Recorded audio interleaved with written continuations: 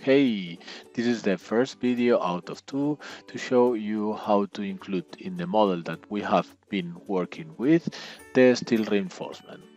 In the first video, we are going to show how to define the, the reinforcement geometry, then how to uh, define the new material properties for the steel reinforcement as well as the cross-section definition.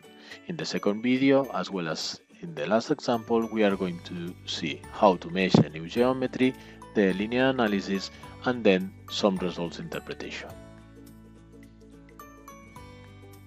Now we can open our model, our plain concrete beam model.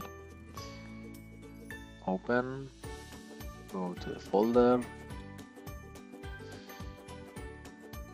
There we have the, the model that we were working with we can just activate uh, the geometries and activate the mesh. Then what we are going to see next is how to introduce the geometry of the steel reinforcement. In our case, if uh, we remember the geometry or the arrangement of the reinforcement, we need to uh, introduce or create as many lines as uh, different sections of steel reinforcement that we have. In our case, we have six, in total, six different sections of reinforcement. We have three different for the top reinforcement and three different more for the bottom reinforcement. What we are going to do now is use a built-in feature in Diana environment. This feature is a, is a specific approach to treat with the reinforcement. In that case, we uh, are going to use what is called uh, or is known as embedded reinforcement approach. What does it mean? It means that when we have our final shape or final mesh of our uh, concrete beam with the reinforcement, we don't we are not going to have uh, specific elements for the steel reinforcement. So the steel is going to be embedded into the concrete element. So we are going to have only concrete elements for our beam. What Diana internally does is to modify the different cross sections or the different concrete elements surrounding our steel to have into consideration the increase in stiffness or the increased stiffness due to the presence of the amount of steel. For sure you can get extra information about this feature or this uh, way to treat uh, the reinforcement in the finite element models in the Diana documentation. So what we need to do then is to show or tell Diana where is our reinforcement in order to allow uh, the software to know which elements and in which part or uh, in which part of the element it has to modify the stiffness and consider the presence of the steel. So we are going to create different geometries, lines, as we did for the concrete, uh, in the specific position of our steel reinforcement. The process we are going to follow for the creation of the different steel reinforcement is the same as we did for the concrete beam we have to create lines, geometry, but now we are going to start for the top left, but now we have to define the position, the exact position of the steel reinforcement.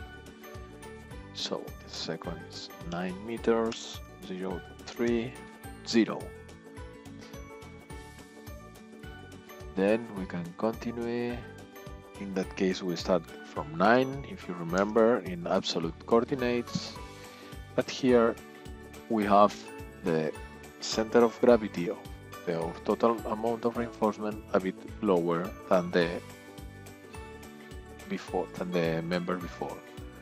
So 17 0 29 0 then as you can see we have already two of out of three parts of the top reinforcement and we can proceed with the next ones.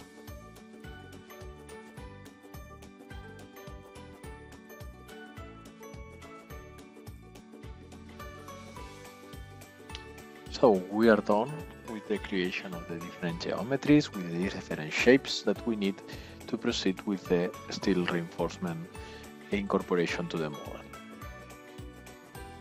we hide the grid.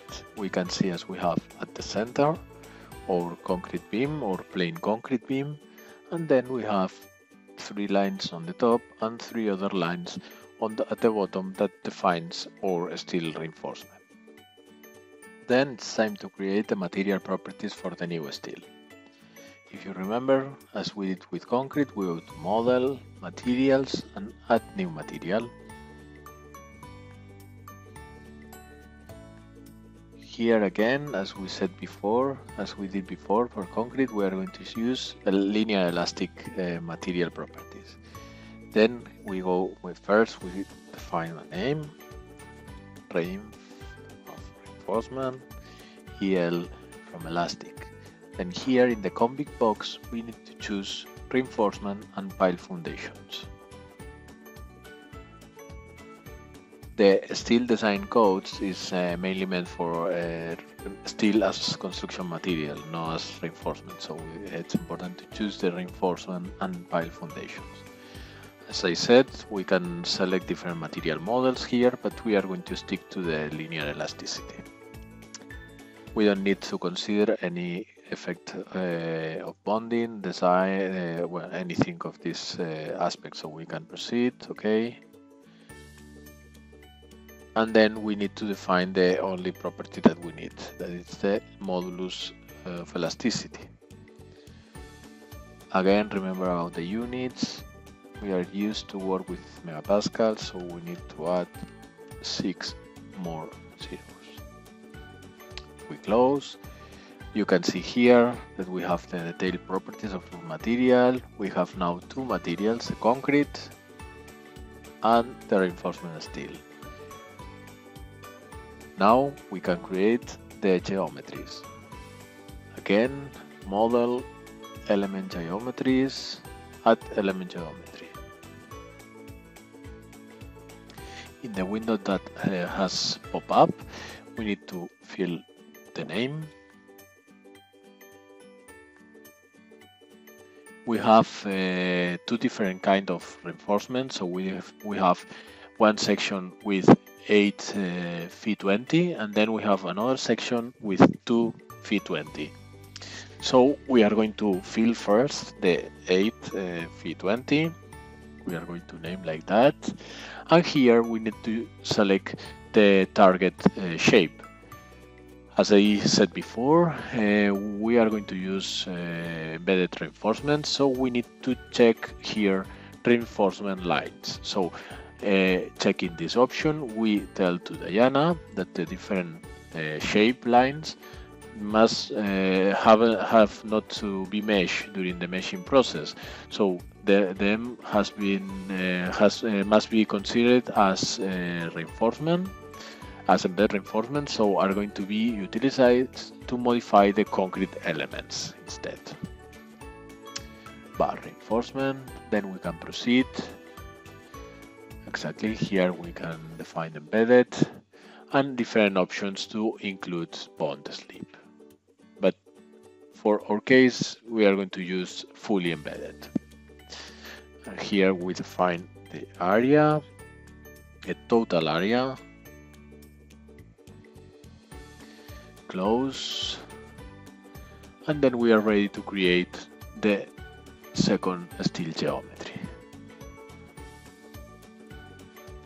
Again, reinforcement lines, bar reinforcement, and then fully embedded on the new area.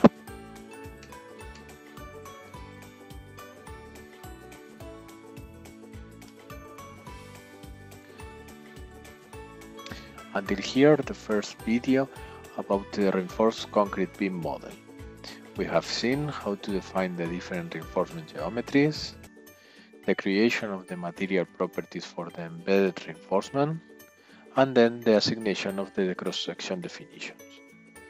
In the next video, we are going to mesh our model, send to the computational core the linear analysis, and then get the results and have, and have some some graphical interpretations of the last ones. Thank you very much and see you soon.